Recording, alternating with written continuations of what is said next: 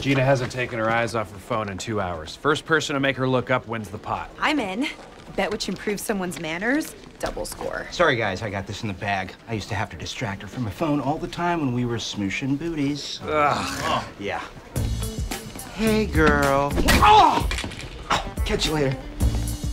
Mid-morning dance party. She's dancing even better than normal.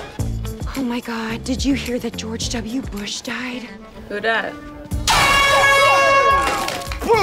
Gina may never look at another real human being again. She's unbeatable. Uh, I don't know about that.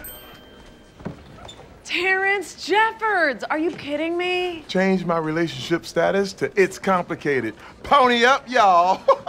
Woo! It's my wife. Hey, baby. No, no, no, no. It was a mistake. My thumb slipped in. I have to go home.